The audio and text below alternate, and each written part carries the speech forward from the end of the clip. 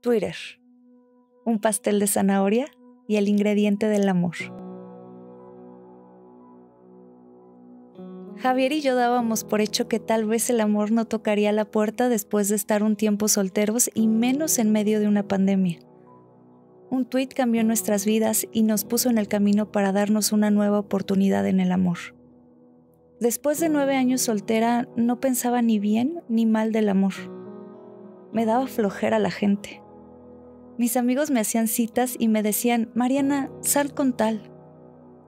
Una vez descargué Tinder y duré tres horas porque pensé que era para otras personas y no para mí.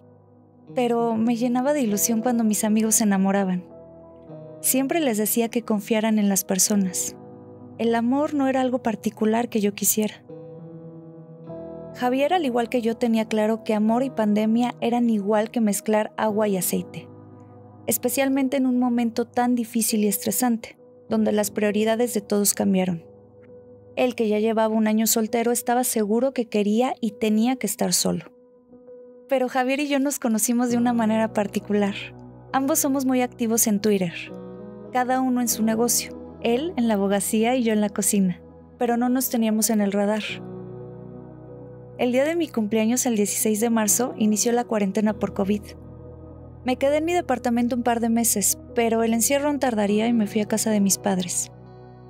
Durante las noches después de la cena, mi papá y yo nos tomábamos una cuba. En una de esas pláticas nocturnas le pregunté, Pa, ¿crees que algún día me vaya a enamorar? Y él fue directo. Claro, en octubre estarás saliendo con alguien. Las noches transcurrieron hasta que se nos acabó el ron. Pedí uno por Amazon y publiqué un tuit que decía, el semáforo ya está en negro aquí, con la captura de que a la casa llegaba un bacardí de dos litros. Uno de mis seguidores respondió, perfectamente pudo ser un screenshot, arrobando a sus amigos Javier y a Tito, lo que desencadenó en un follow inmediato entre Javier y yo. Así en junio aparecimos en nuestros radares. Comencé a leer su timeline que era muy crítico de derecho y de política.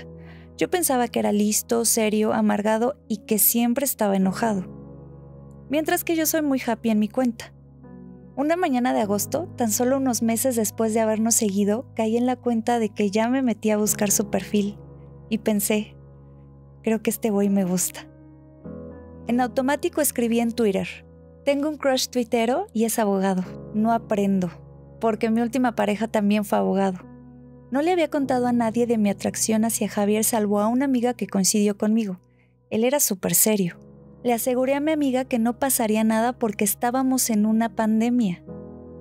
Las interacciones fueron pocas y yo trataba de ser cuidadosa para que no viera que era su fan, pero vi que sí tenía sentido del humor. Una mañana al despertar vi que puso un tuit aguerrido contra nuestro presidente y dije, le tengo que escribir. Y entonces le mandé, oye, ¿tú andas de un filoso últimamente? Que todos los días me despierto a ver qué tuit lanzaste para ver el mundo arder. You never disappoint. La conversación comenzó a fluir suave y bien. Javier terminó por darme su número de teléfono y los siguientes días no paramos de platicar. Bromeábamos sobre que yo era muy centrada en mis tweets, que mi timeline era muy bonito y bello.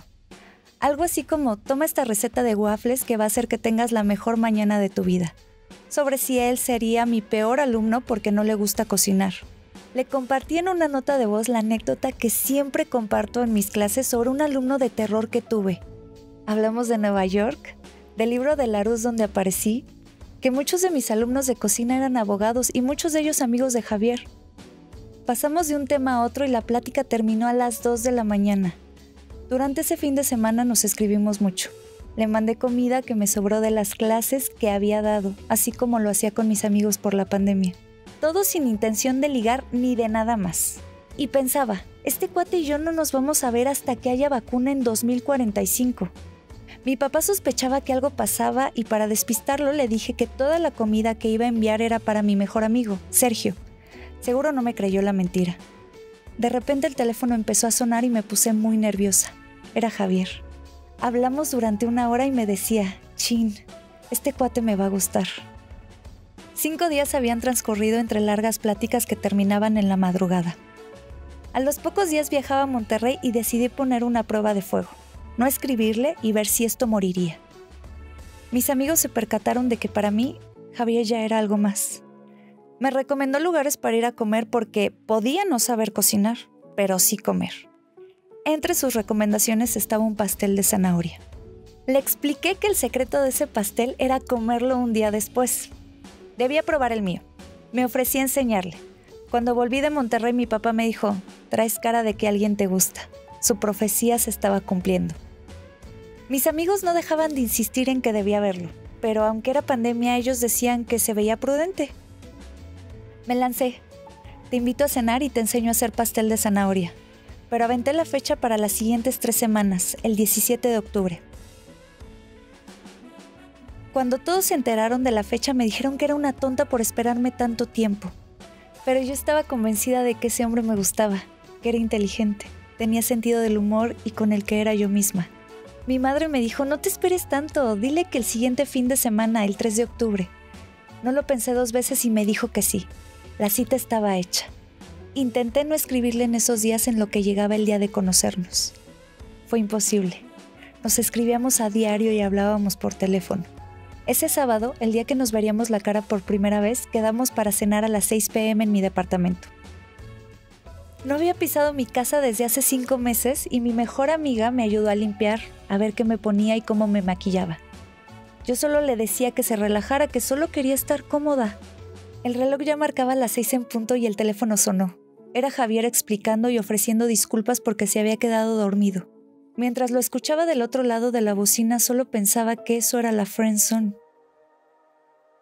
Porque cuando alguien llega tarde a la primera cita es porque no le importa. Me quité los zapatos de tacón, me serví un vino y me puse a leer. Le pedí al policía de mi edificio que me avisara cuando Javier llegara, algo que no hizo. Hora y cuarto después escuché sus pasos en el pasillo, su respiración fuerte y que venía quejándose. Es él, pensé. Abrí la puerta y al verlo supe que era buena persona. Se sentó y empezó a hablar tan rápido, tan nervioso, tan apenado. No escuché nada de sus explicaciones de que se había levantado muy temprano para terminar sus pendientes, dormir un poco para llegar fresco y que solo se equivocó al poner la alarma en el celular. Mientras lo veía escupir un montón de palabras lo supe. Es el ingrediente que me faltaba. Me voy a casar con él. Aquí es. Tanto Javier y yo nos sentimos como en un ambiente familiar y aunque nunca nos habíamos visto en persona era como si ya nos conociéramos. Le conté algo que nunca me había gustado que mis citas supieran, mi padecimiento de esclerosis múltiple, enfermedad de la que soy vocera. Pero cuando Javier se enteró, tomó muy natural algo que era tan importante para mí. Toda la madrugada platicamos sin cansarnos. Partió a las 7 de la mañana de mi casa, pero no había vuelta atrás. Ese era nuestro lugar y no queríamos separarnos más. Nos bastaron cuatro días para mudarnos juntos. Hacíamos trampa diciendo que cada dos días cumplíamos un mes para que la gente pensara que llevábamos más de dos meses juntos, porque a nadie le hace sentido el tiempo más que a nosotros. Conforme pasó el tiempo, aprendimos que aunque nuestros mundos eran distintos, nuestros universos estaban empalmados y encontraban distintos puntos de conexión. Lugares, amigos, personas y gustos, lo que hizo más fácil todo. Nunca había pensado en casarme, pero con él me veo toda mi vida.